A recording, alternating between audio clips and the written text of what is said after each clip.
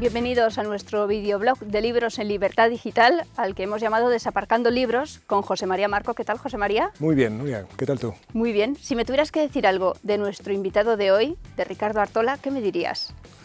Pues mira, aparte de lo que vamos a hablar ahora de la editorial, yo te diría que es el mejor editor que yo he tenido.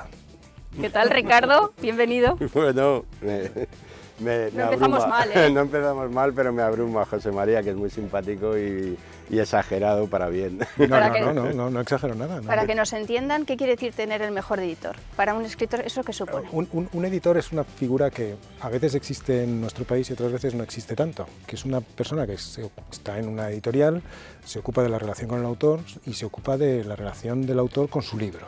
Es decir, de cómo va el libro, de cómo lleva el libro, de qué es lo que está haciendo, de qué es lo que no está haciendo. Yo particularmente con Ricardo hicimos juntos, eh, o empezamos a hacer juntos la historia patriótica de España, que a mí era un libro que me, que me planteaba muchos problemas porque, porque no sabía muy bien por dónde tirar. Yo quería, sabía un poco lo que quería hacer, pero no lo sabía en realidad. Y lo dejé un rato, lo volví a coger, luego lo dejé otra vez, estaba muy obsesionado. Y Ricardo fue el, el que sacó adelante el libro. ¿Cuándo decides tú, Ricardo, crear o unirte o ponerte por, por libre con tu propia editorial, con Kailas? Bueno, la editorial no es mía, ¿eh? es de un, inver- de, de un empresario que es Ángel Fernández Fermoselle y que, y que mm, digamos, con- confía en mí el proyecto de renovación de la editorial hace un año y, y bueno, y tenía una línea editorial hasta ese momento y yo lo que planteo es abrirla un poco 360 grados. ¿no? ¿Abrirla a qué tipo de libros? Pues abrirla, yo, claro, es que mm, siempre se dice y al final es como un, como un tópico, ¿no? Pues abrirla a libros buenos, a libros eh, interesantes. Claro, el concepto de libro bueno es distinto mm, según quien lo diga, ¿no? Pero yo me refiero a, libros, bueno, pues que, mm, intentan ser comerciales sin complejos, porque a mí siempre me molesta mucho esa cuestión de que mm, parece que si quieres vender libros estás cometiendo una actividad ilícita, inmoral y es perfectamente legítimo querer vender libros y muy difícil por otro lado, y, pero también aportar libros que, que- le añadan algo, un plus añadido. Uno de los que vamos a hablar hoy pues es un clásico que se publica por primera vez en español y, bueno, ahora hay muchas recuperaciones, pero son recuperaciones de libros de los 50, de los 60 que se rescatan y que se reeditan. Eh, Pues yo creo que eso está un peldaño por debajo, o sea, ya que rescatas algo, pues que si es inédito creo que tiene un valor añadido suplementario. ¿no? ¿Y qué, qué- el nombre, Editorial Kailas? Explícanos un Kailas, sí, Kailas es el nombre, bueno, se ha, eh, eh, se ha castellanizado, porque Kailas en realidad es con H al final, y es el nombre de un monte del Himalaya, no de los altos, sino un 7000 cualquiera, ¿no? No está mal tampoco.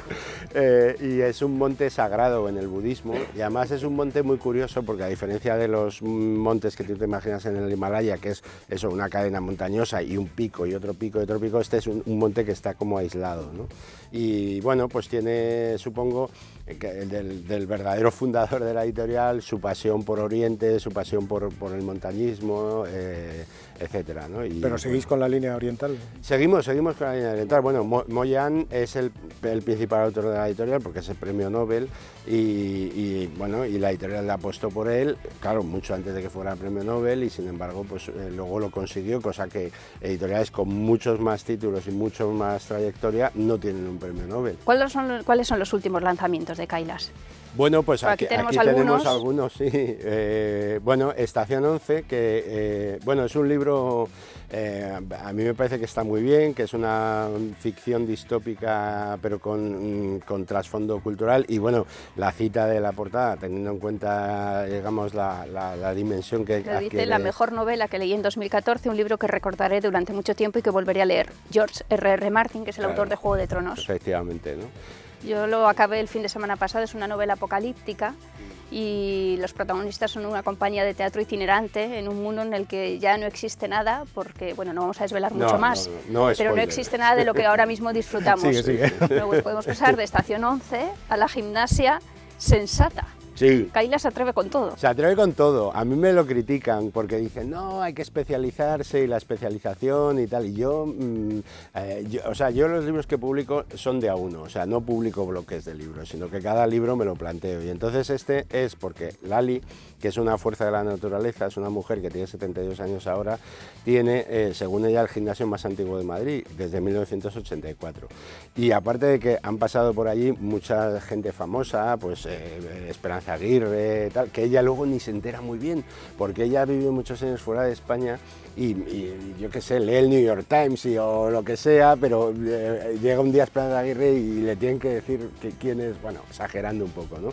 Y ella ha desarrollado un método propio se empapa de todo lo que son las técnicas y todo lo que hay y yo voy y le digo, oye, que quiero hacer eh, no sé qué tipo de gimnasia. No, no, no, no, no eso es, eh, eso es eh, peligrosísimo y no sé qué. Entonces, el título de gimnasia sensata procede de que ella sostiene que mm, hoy en día con los gimnasios low cost y todo esto, eh, digamos que se hacen barbaridades en los gimnasios y que no, la gente no sabe lo que, lo que hacen en, los gimnasios y, que para ella, igual que para la NASA de los años 60, que era la buena, que mm, el único fallo aceptable era cero fallos, para ella eh, lo único aceptable en gimnasia es cero, cero lesiones, es decir, que ella considera que no te tienes por qué lesionar si haces bien. Y bueno, y todo eso lo cuenta es una máquina de dar titulares, dice que la celulitis no existe, que es un mito. Eh, en fin, hace nos quedamos todas más tranquilas. no, no, de verdad, o sea, es un libro de gimnasia también un, tanto peculiar, ¿no? ¿no? es un libro cualquiera, o sea, tiene sus ejercicios y sus tablas de ejercicios, pero tiene mucha, mucho fundamento y ella luego lo cuenta con mucha gracia porque es muy graciosa. Y aquí tenemos uno que a ti te gusta especialmente, sí, a José María. los libros de los snobs del Duque de Bedford. Esto no estaba publicado. Eso no estaba es publicado. Que no estuviera publicado.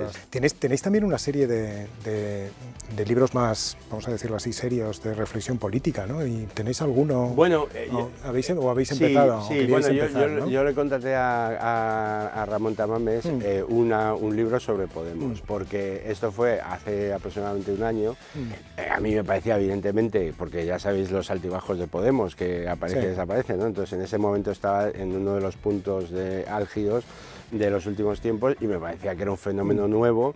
En ese momento Ciudadanos no estaba ni de lejos en donde está ahora y bueno, y me parecía que Ramón, mm. que siempre está siguiendo la actualidad política, pues era, era un buen mm. candidato para, para, hacerlo y a él, bueno, recogió el guante porque también es un hombre echado para adelante y atrevido y sacamos ese libro. Sí, muy bien. Pero es que tampoco quiero poner cuotas, es que ese es el problema. Los editores eh, sacan un libro y dicen, no, y ahora tengo que desarrollar y me tengo que obligar a eso. No, ese libro me parecía que en, ese momento estaba bien, pero no quiero yo casarme con tener que hacer libros políticos. Y si hago este libro tampoco me quiero casar con tener que tal, ni, ni libros de gimnasia, ni nada. ¿Y no corres, no, corres, muchos riesgos con eso?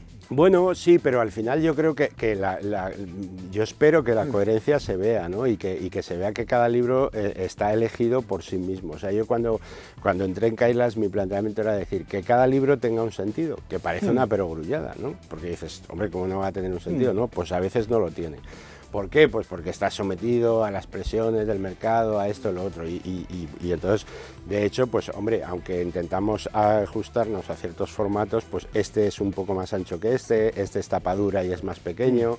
Aquí, si me permites una cosa, porque eh, aquí hemos superado a la edición original, cosa que no siempre pasa. Y entonces nos planteamos qué podemos hacer. Y Ay, qué bonito es, sí. Claro, y entonces hicimos unas guardas que son como los pañuelos de Hermes, ¿sabes? Con una imagen repetida. Eh, estos dibujos estaban en el original, pero están muy bien, son muy sencillos de línea y entonces jugamos con eso. Y también pusimos una estampación dorada en, portada, que esto no es habitual, este, este, este derroche de medios y tal, incluso una cinta de registro. Y luego la pusimos doble, una roja y un negro, que también es muy clásico, el rojo y el, negro. El, Duque de Bedford se merece esas claro, cosas. El Duque de Bedford, y si claro, lo vamos a enseñar, Ricardo, porque es muy bonito. No sé si se aprecia bien, pero es para la Más con un poco de, tacto como de tela, es verdad. Sí, sí, sí, sí. Y bueno, y, eso lo hemos efectivamente querido cuidar eh, mucho, sí, sí. Y tenemos aquí la Dama de Saigón, que esto se merece un capítulo aparte, ¿no? Pues sí, sí. Bueno, la Dama de Saigón es de un joven autor, que es José Luis Gil Soto, que es un, eh, un, hombre que estuvo en la legislatura anterior de, Es un ingeniero agrónomo que la legislatura anterior del Parlamento extremeño estuvo de... Bueno, no del Parlamento, del Gobierno, de director general de Política Agraria y un, y un hombre muy entusiasta que empuja... Esta su tercera novela, hizo una sobre Godoy y otra sobre, sobre, sobre la, eh, la Invencible y ahora, o sea, siempre novela histórica, y ahora se ha ido a un episodio muy poco conocido de la historia, eh, que, de la historia de España, que es la expedición de la Cochinchina y que es una expedición en, el contexto del gobierno de O'Donnell en mediados del 19 y de las expediciones de prestigio. Se inserta la novela que está muy bien documentada eh, históricamente, pero mm, que eso no se ve. Como las buenas obras de teatro, tú no ves la tramoya, sino que, que está ahí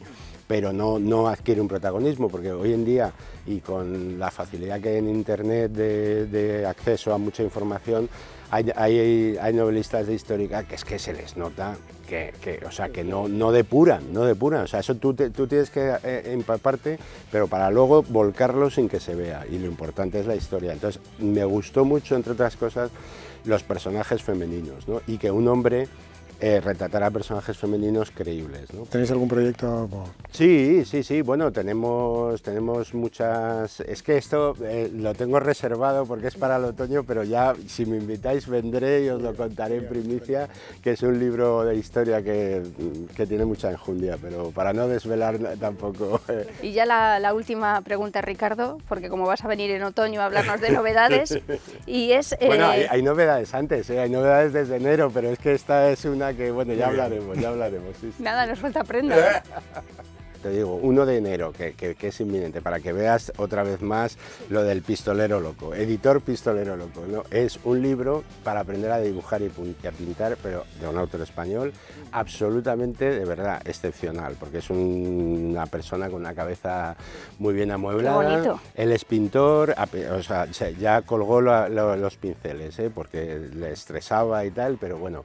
Y, entonces eh, se puso a dar clase, pero clase particular, o sea, de aquí, de un grupito de una persona suelta, de una señora mayor jubilada que quería aprender a pintar o de un niño de 15 años que sus padres querían llevarle y tal. Y entonces eh, se planteó un método y el libro es ese método, pero de verdad que es súper original. O sea, la primera, la primera lección de, es coger un lápiz y en un papel empezar a hacer primero círculos, luego rayas y luego sombrear y con eso te sale, un, te sale una pintura. Miguel Ángel. Sí, sí, de verdad, pero vamos, es, de verdad que es estupendo, estupendo. Bueno, pues Ricardo, esta es tu casa, cuando quieras volver, aquí estamos.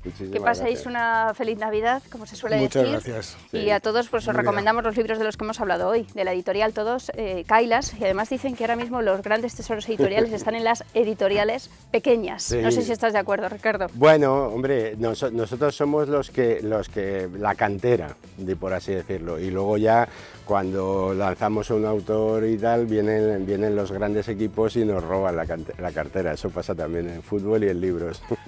Pues muchas gracias.